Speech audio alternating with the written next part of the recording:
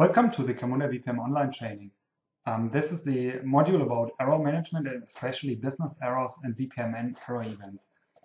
This is in contrast to something we saw um, in the last module, the thread and transaction stuff. I hope you remember that for service tasks and other tasks, you can have an asynchronous continuation configured.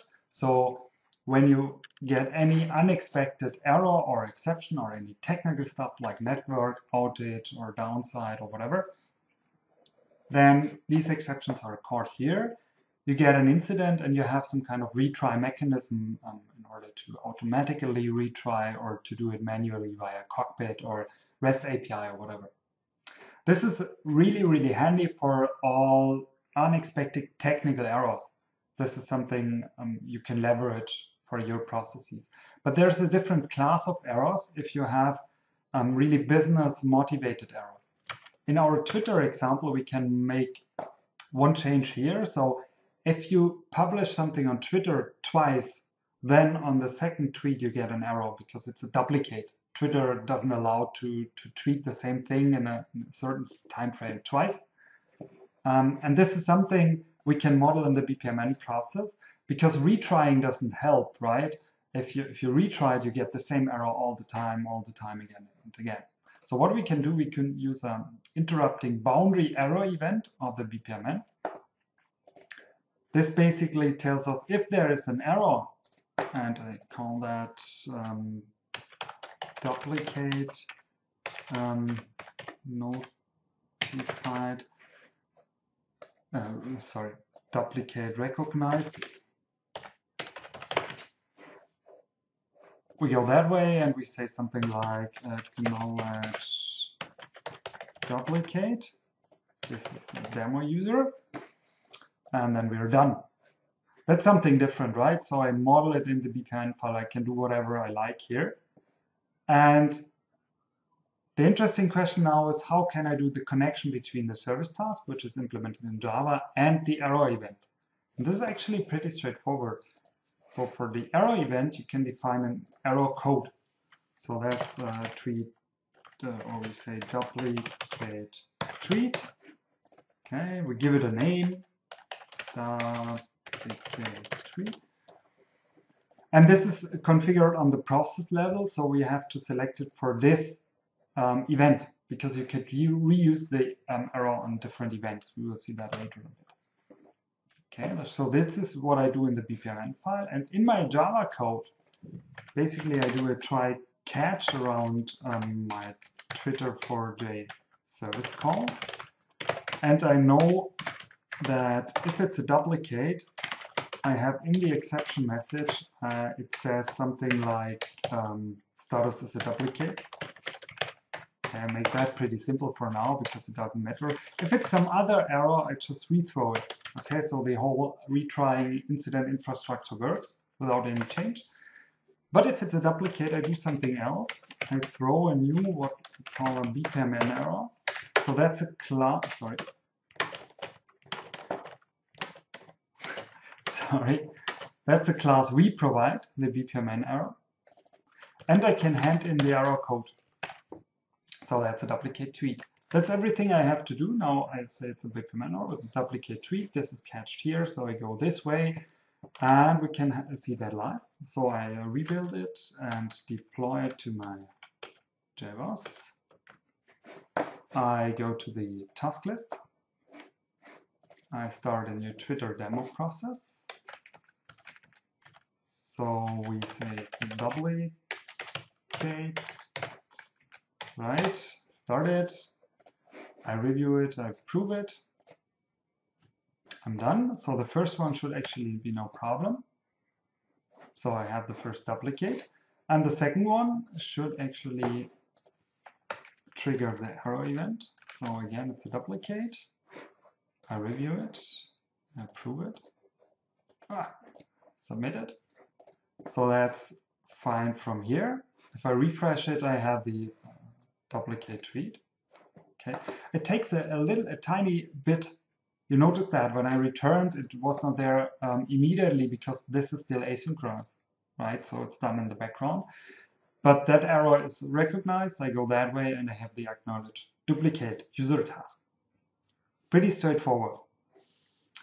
It's always valuable if you want to model some reaction to a, uh, an error, and this is normally only the case if it's really business motivated. Okay, I don't want to have Twitter is down here because then I can start um, email is down here and disk is full or whatever. So I model too much stuff. I only want to have it if it really influences my, my flow, if it's really a business error. If you don't like having the BPMN error class used from us here, there's a different thing you could do. Um, you could go into the error code and basically um, say this should be a Java run exception.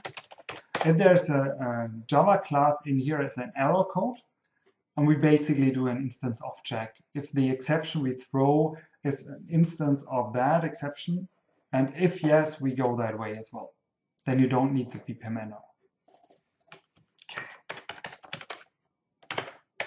But I like that more. And there's a second interesting thing to know about BPMN because that's not really um, straightforward to see. So if I do something like some other error, what would you expect to happen? An interesting thing to think about. In the meanwhile, I redeploy it. Um, I go back to my task list. I start a new Twitter demo process.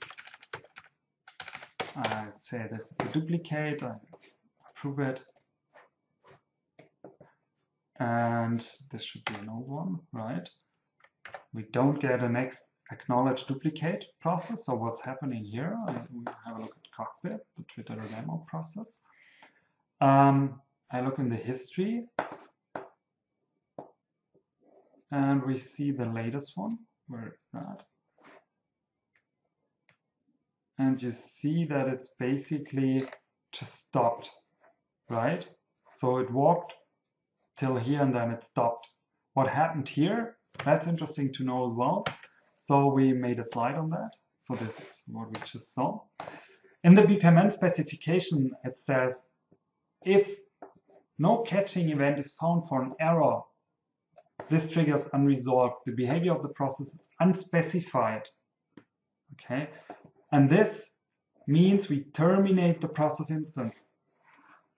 That's really interesting to see. If we look at the JBoss log, okay, there are some Twitter exceptions. Uh, where is it? What happened here? Sorry. Somehow my Windows annoys me a bit. So we see an info here Service task published on Twitter throws error with error code some other error, but no catching boundary event was defined. Execution will simply be ended. Okay, that's important to know actually. So um, take care that the errors you throw there are really catched, because otherwise you end up with the cancel process instances you don't want to have. Okay. Interesting question is why is it configured like that? And this is maybe um, a good idea now to have a look at what else is possible with BPMN error events. Um, what we just saw, throwing it from a service task, is actually not the most common case for the BPMN specification. The most common thing is that you use BPMN error events throwing and catching. So for example, in this case, we have a sub process in that sub-process, we end with an error in some case. And this error is catched on the boundary, and then we move on here. In this case, this throws an error with an error code, and this error code is, has to be catched here. I think that makes sense, hopefully. The interesting thing here is if you throw an error with an error code you don't know, the process uh, engine doesn't know what to do because it cannot continue here because it's obviously an error, but it doesn't have any any boundary error event, so it cannot continue anywhere. And this is why this is defined like that. Okay. This is, by the way, possible in the engine, so you can execute that process model. You can use the throw error end events as well. And that makes sense pretty often. On this slide, you see um, the error event uh, terminating a sub-process, and an embedded sub-process, and then with the boundary event going another path. there's some hint here. Interesting um, to recognize is that if you use that end, end event, it terminates that sub-process. So all the data you had only in the sub-process, like sub-process local variables, um, if you look at the um, variable module, you will see that what I mean there. Um, they're gone here. Okay. There's there are other possibilities to to model this case as well. So this is the um, sub-process with an error event. You could use a so-called um, event sub-process.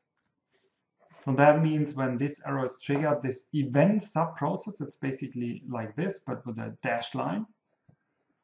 So this um, event sub-process is triggered here. And this one, in that case, it can still access the variables from the sub-process. So that's a slight difference here. Okay, you could have an event sub-process on the whole process uh, uh, definition level.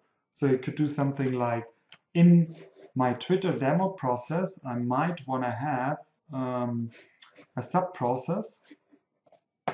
I say this is triggered by an event that makes the dashed line. I say that's a start event, and I say that's an error event, and I maybe configure it to listen to Java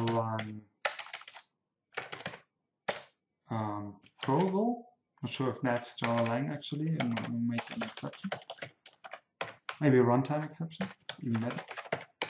Okay. And yeah, I say this is like a, now a generic error handling uh, uh, process, catching all the errors which are not somehow resolved in the whole process. Then you interrupt what you're doing here and move on in this event sub-process. There are a couple of situations where this is really handy to, to model. Um, you should keep in mind that it cannot easily jump back. So I cannot do something like the retrying. So I jump to that sub-process where I decide, oh, please retry that one, and I cannot easily jump back. So that's a difference, okay?